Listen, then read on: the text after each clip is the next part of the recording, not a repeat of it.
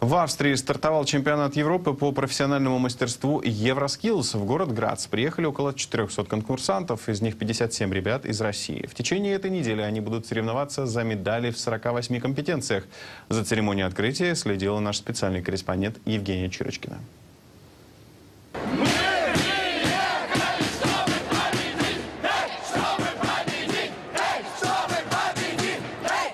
57 участников национальной сборной занимают почти всю сцену. Российские конкурсанты приехали в Австрию побороться за звание лучших в своем деле. Масштабная церемония открытия Евроскиллс 2021. Представители больше 30 европейских стран поднимают свои флаги. The Russian Federation.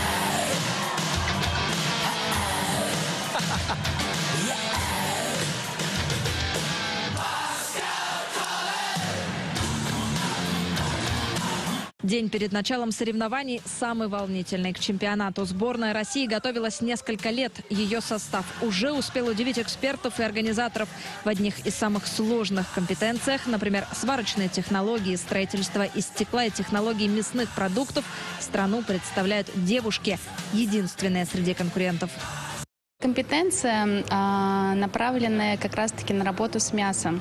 Она совершенно новая, тренировалась на более крупном животном, то есть ноги были там в районе 50 килограмм.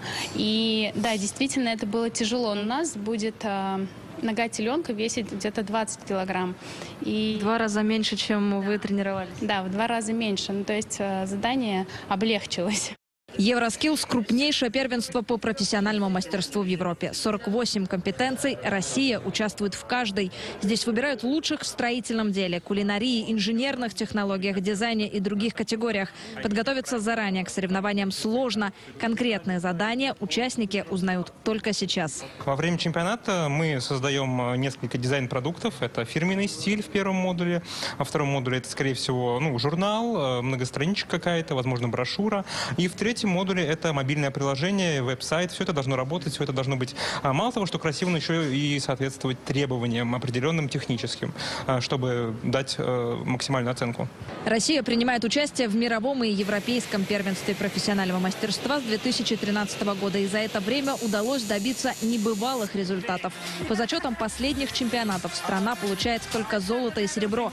Международные эксперты отмечают превосходство по нескольким компетенциям, в том числе в IT-сфере айтишных компетенций. Здесь сказалось то, что, что мы первым подхватили а, момент перехода IT-отрасли от условно высшего образования к среднему профессиональному, ну и фактически к а, дополнительному образованию. Получить навык программирования, цифровые навыки можно не тратя 5-6 лет, можно сделать достаточно быстро, 3-4 месяца. И мы начали этим проактивно заниматься. Сильные компетенции витринистики, графический дизайн, веб-дизайн традиционно мы можем показать, называется, дать жару.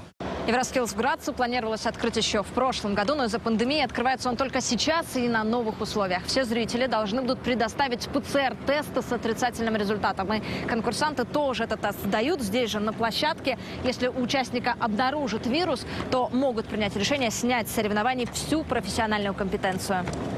Соревнования будут проходить несколько дней. Итоги подведут 26 сентября. Евгения Чирочкина, Иван Малышев, Александр Макридин, Диана Макурина. Вести. Австрия.